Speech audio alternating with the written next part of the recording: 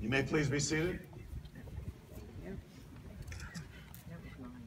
Dear family and friends, today we have gathered together to celebrate the marriage of Courtney Kogler and Ben Sortino.